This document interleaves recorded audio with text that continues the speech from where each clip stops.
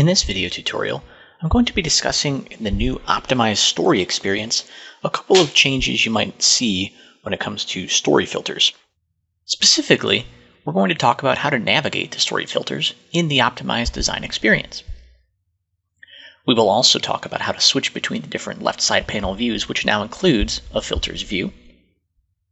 And we'll then learn how to toggle between the left side panel view for your filters or back to the classic story filter bar view in case you prefer that look and feel. Right now, we're looking at a classic design experience story in SAP Analytics Cloud. We're going to quickly review where the story filters were located here. You'll see one right here that I've built for date. It's located in this story filter bar that is horizontally across the screen just underneath the toolbar for story building.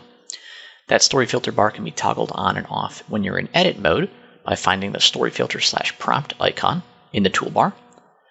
Or in view mode, or how your end users will see this, there's a filter icon there as well to toggle on and off the story filter bar. Now let's switch to optimized design experience. Here's a story built exactly the same, but in optimized design experience.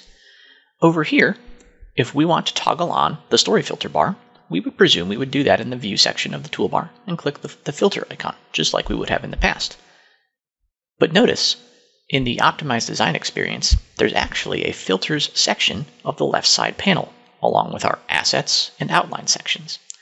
The Filters panel here is where story filters are now located, by default at least. We can toggle back and forth between the Assets, Outline, and Filter section of the left side panel very easily. Story filters in here still behave just as they would in the story filter bar in the classic design experience. Now you might be saying, I really liked the story filters to be in their own dedicated story filter bar horizontally across the screen. That's my preferred layout. Well, you're in luck.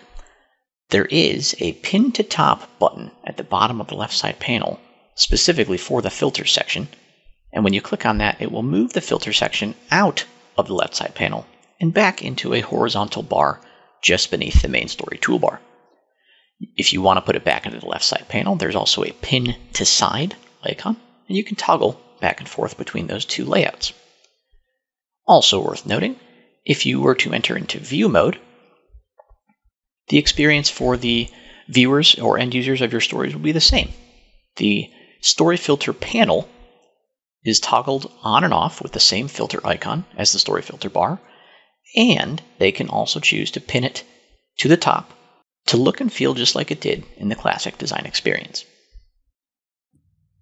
To wrap up, in this tutorial, we covered how to navigate to story filters in the optimized design experience. They're now, by default at least, located in the left side panel. We can switch between the assets, outline, and filter section of that left side panel.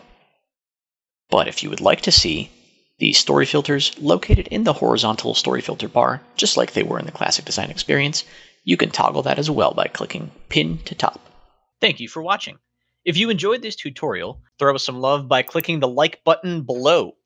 You can also view our growing catalog of self-paced courses, tutorials, webinars, and you can join our community forum by creating a free account at analysisprimeuniversity.com.